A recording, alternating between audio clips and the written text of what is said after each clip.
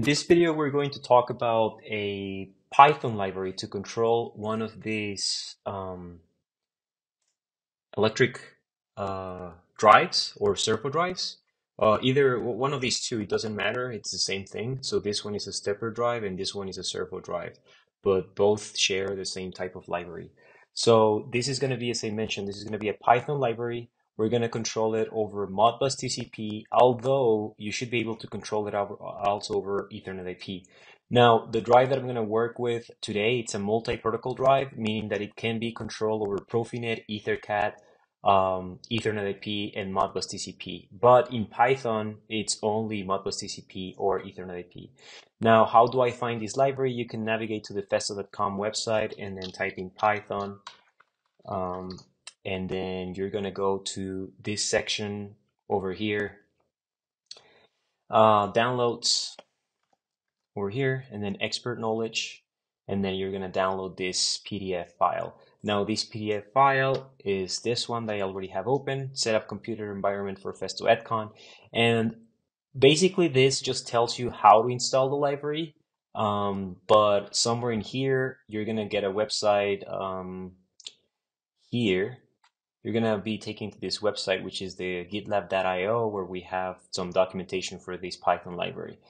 Anyways, so before I go uh, into the Python part of this uh, video, I'm going to briefly touch on the basic configuration that we need to have on the uh, on the drive.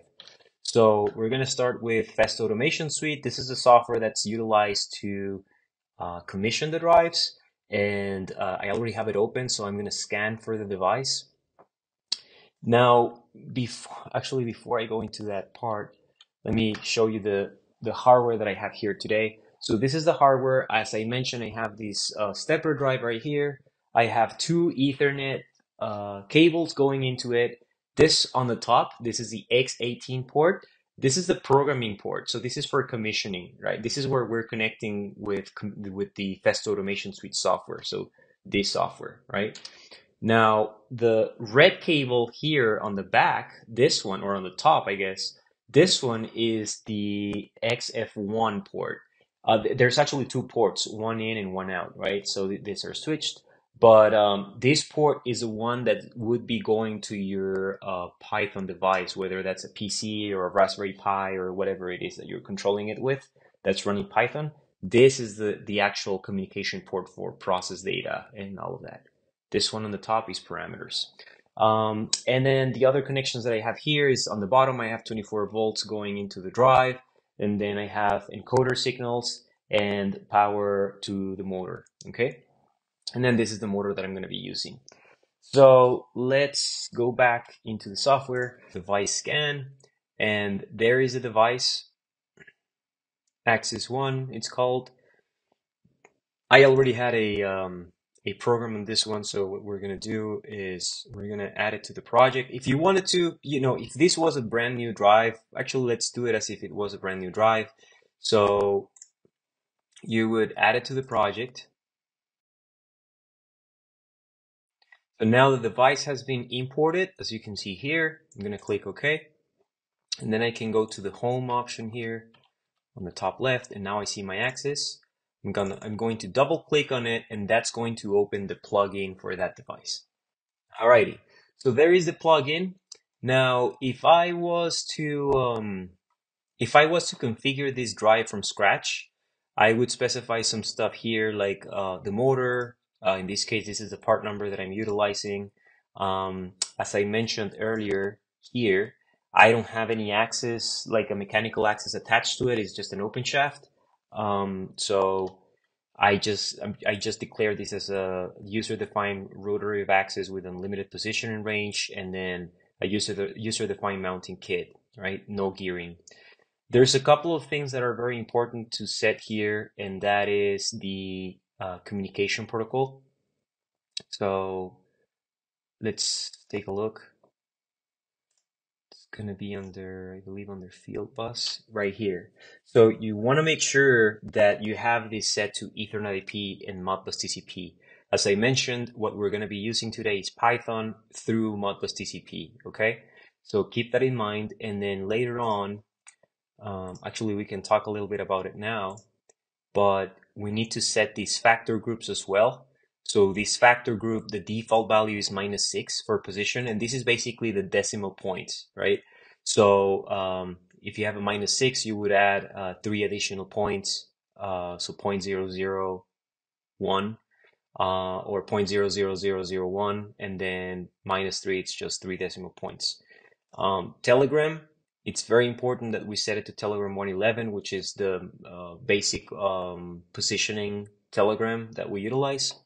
And that's about it. Other than that, I mean, on the application data, the rest of the stuff, it's basic application moment of inertia. As I mentioned, I have an open shaft, so put a very low value. If you want to know more about how to commission this this software, there are more uh, videos on YouTube on how to do that. Uh, I believe on the Festo Service uh, YouTube channel.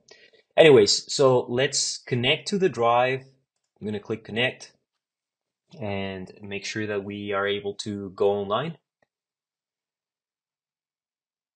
And then the first thing that I always recommend is that you enable the control from the software right here, plug in PLC, and then you enable the power stage and then go to this control section on the top and then make sure that you are able to jog it manually. Well, before jogging it, you have to home it. I have the homing uh, to actual position. So once I homed it, you can see that it's now at zero position, zero revolutions. So now I can home it. So you want to make sure that you're able to home, uh, sorry, to move back and forth so that's really good. That will confirm that all of your electrical connections are, are set and all that. Okay, so now let's go to the Python side of things. It's very important that you disable this plug-in control, uh, plug-in PLC control. Otherwise, you're not going to be able to control it with Python because it still thinks that the Festo Automation Suite software has the control. Okay, so now I'm going to go to the Signer Studio, uh, not not the Signer Studio, to uh, Visual Studio or Studio here what's it called? Uh, Visual Studio Code. Yeah, Visual Studio Code. I al already have an, uh, an, a file or a folder open. What I'm going to do is I'm going to create a new uh, VENV or virtual environment. Um, so here we go, Python create environment, uh, VENV. I'm not going to use Conda. And then this is the interpreter that I want to use. So that's going to take a few seconds. Okay, so that's done. Now, one thing to clarify here, um, I'm not a Python uh, expert programmer or anything like that, but my understanding is is good practice to work in virtual environments. That way you can have only the packages that you're going to be using for that particular project. But this would also work with, you know, just your standard Python instance running on your on your computer or on your Raspberry Pi or whatever. So let's make sure that this virtual environment was installed properly. Uh, let's run a hello world uh, Python program .py and then uh, print hello world and make sure that this is running in the VENV Okay, it is, and we see it by checking this over here. So it, it is running on the VENV. Now let's see if we if we have pip installed. Pip, it's gonna be what we use to download the library. So we do have pip installed. I'm not sure if this is the latest version, but I think this will do. Uh, clear? Yeah. Okay, so we're running in the VENV. We have the Hello World running. Perfect. So now let's uh, install the uh, Festo Edcon library, and we're gonna do that by navigating to or executing this command. Just give me a second. Um, this command. So if I go to Edge, uh, this command right here. So pip install festo dash edcon. So I'm gonna copy that, and then let me bring you back to VS Code, paste, and then run that and that should uh, that's going to install the Festo Edcon library along with all of its dependencies. That should take you know a few seconds. As you can see, it's done now. Um, perfect. So now let's have a look at the things that we have in this library. So if I go back to Edge, now you can see it here. Um, let's take a look at these examples. Modbus examples over here on the left. Modbus examples, and here's the, I guess, one of the most basic ones, position. I'm gonna copy all of this, and let's take a look at what's going on in here.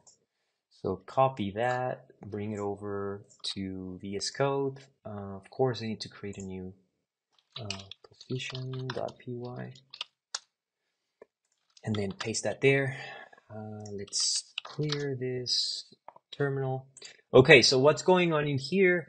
We are importing some modules here. So Modbus, motion handler, and logging. I found out that this logging is very useful. I'm going to show it, show it to you here in a second.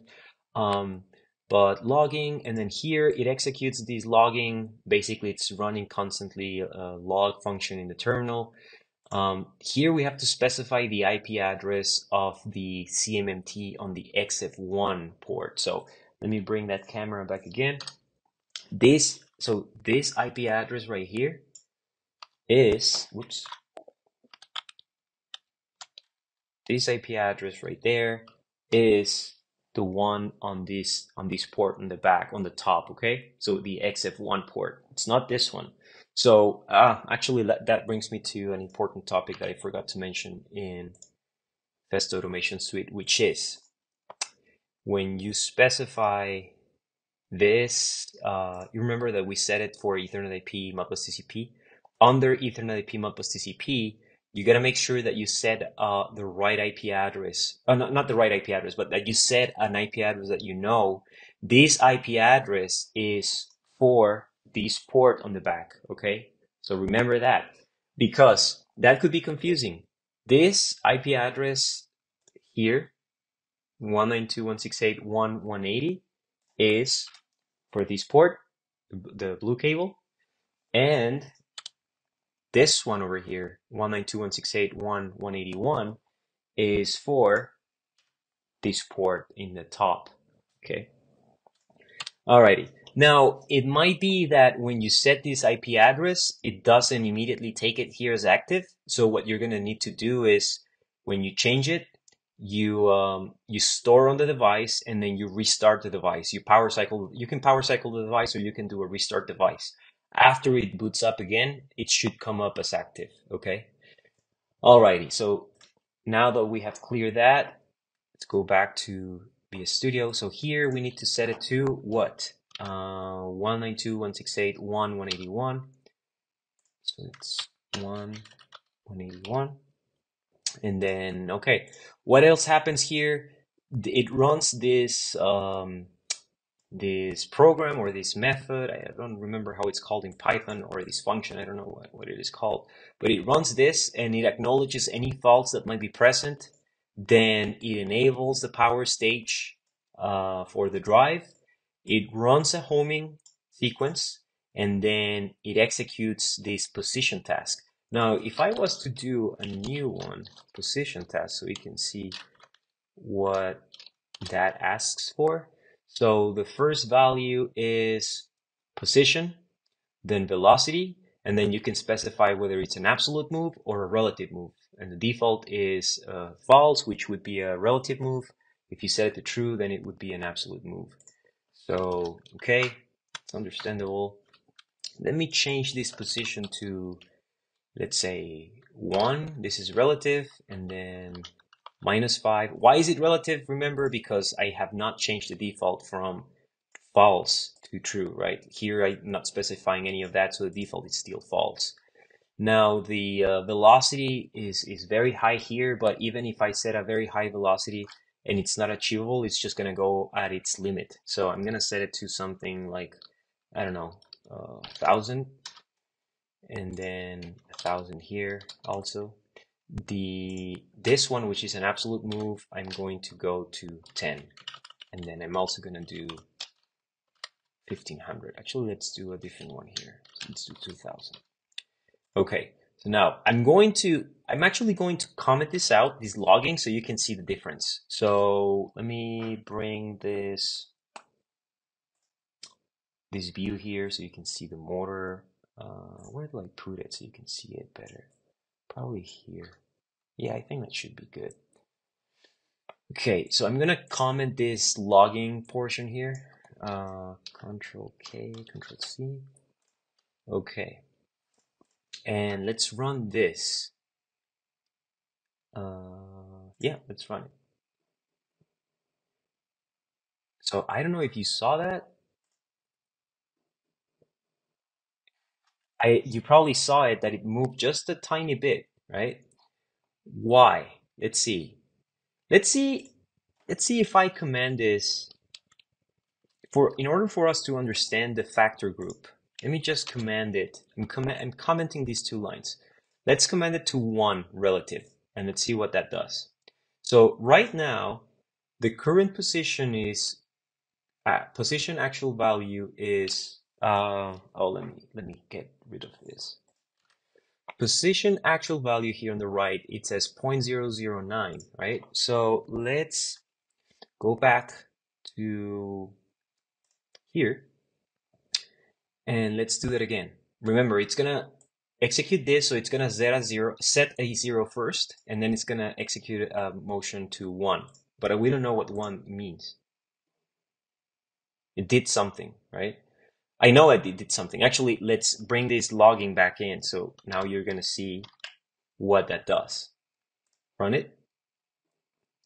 You see? So what happens here on the bottom is from here, right here, it you know checks the connection or establishes the connection, reads the information from the device, does some other stuff, enables a power stage, and so on, and then it executes uh, you know a target position and it checks the current position and so on. But I'm curious to see what is the actual position. So it's like nothing. Why is that? So let's let's execute that again.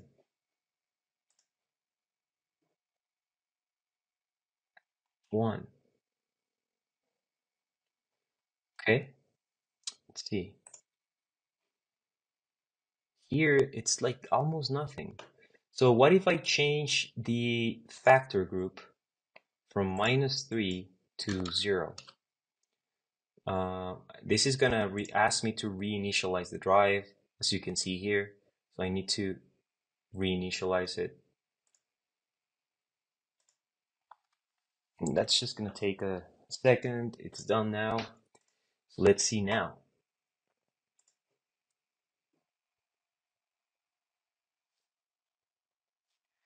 Let me bring the view of the motor. So now it's turning. It's turning very slowly. Why is that? Because this is set to minus 3. So I didn't say move at one revolution per minute. I said move at 0.001 uh, revolutions per minute, right? So it's moving very slowly, but it's it's still trying to do it. You know, it's it. This is still logging, and it's saying my target is one and my current is zero. Let's see where it's at right now. It's at 0.72.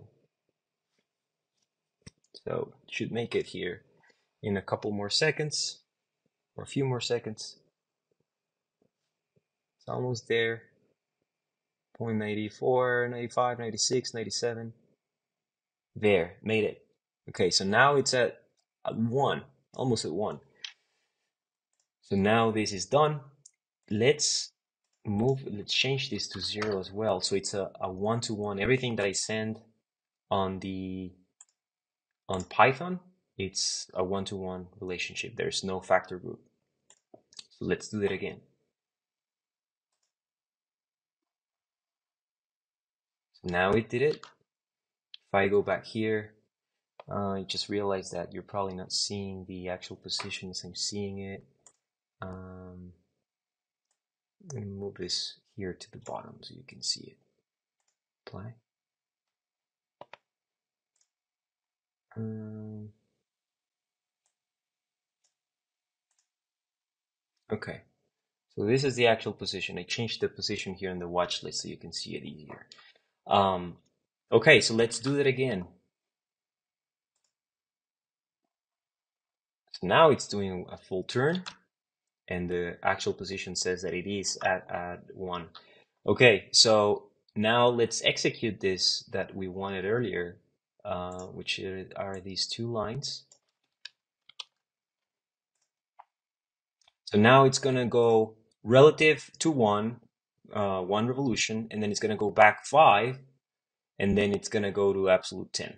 So let's do that. There's the one, there's minus five, and then 10. And it did it. It's done. Stopping motion, wait for drive to stop, drive stop, finish positioning motion task. So utilizing this library is pretty simple. Um, if we take a look at um, the logging is, is, is great. I really like this function. Now let's take a look at another example, another, um, let me see here so I can show you the right screen. Take a look at this other one.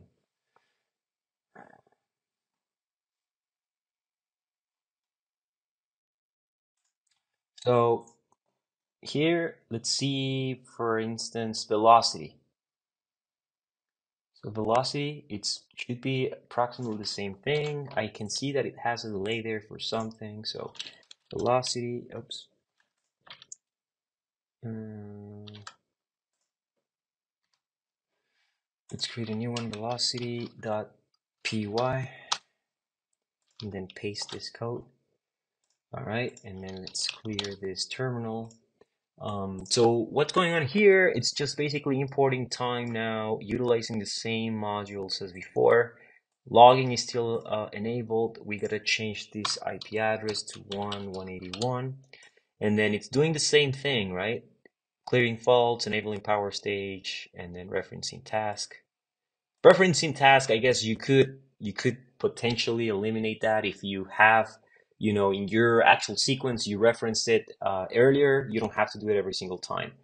But here, what's what's going on here? So velocity task, it says you have to specify a velocity and a duration for that velocity. So what I think is going to happen here, it's going to try to run at 50,000 RPMs, which is not going to do.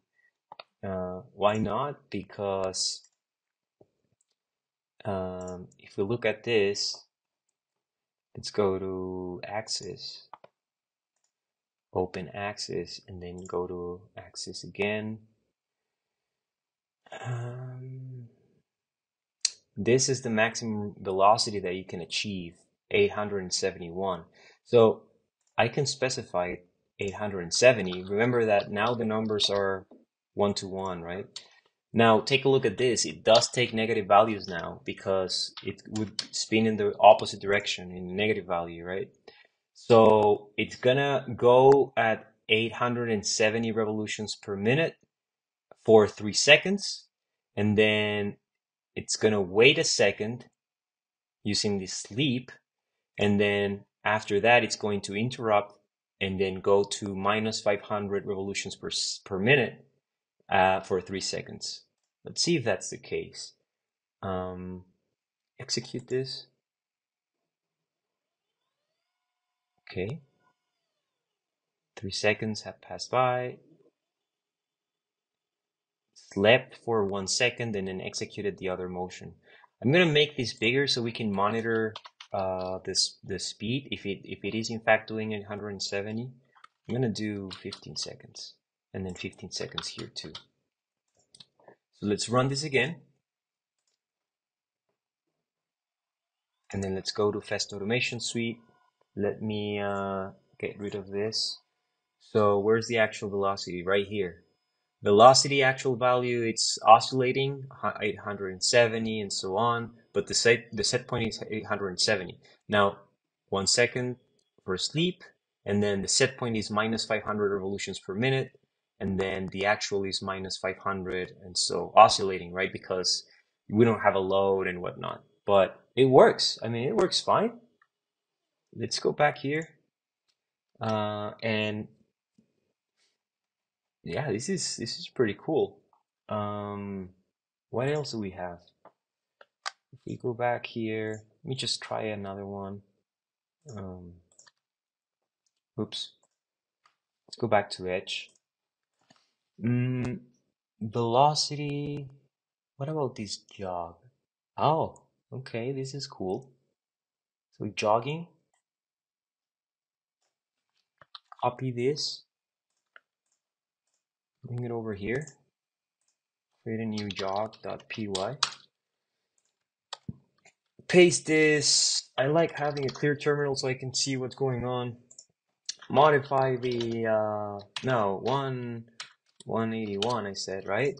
And then, so here's just gonna jog, what, what's it, what is this? True and false. Positive. Oh, okay. Jog positive. It's set to true. Negative is false. And then incremental. Okay. Please note that the jogging motion stop if both positive and negative are equal. Okay. And then the duration in seconds. Interesting. Okay. So this should jog forward for three seconds. Let's, uh, let's have a look. It's jogging. Now, you probably don't hear it. I do hear it, but there is a change in speed, and I'm going to explain that here in a second. So I'm going to run it again.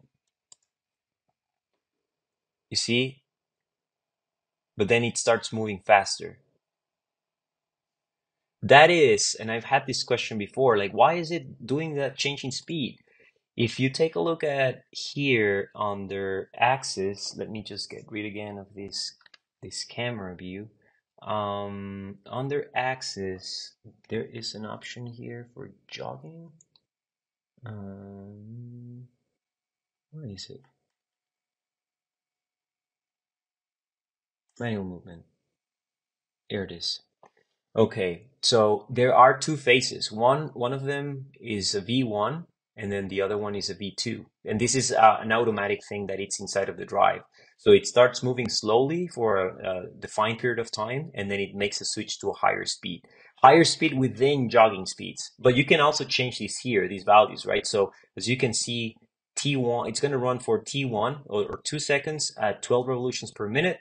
And then after two seconds have passed, it's going to switch to 24 revolutions per minute. And then it's going to keep going until you release that jogging.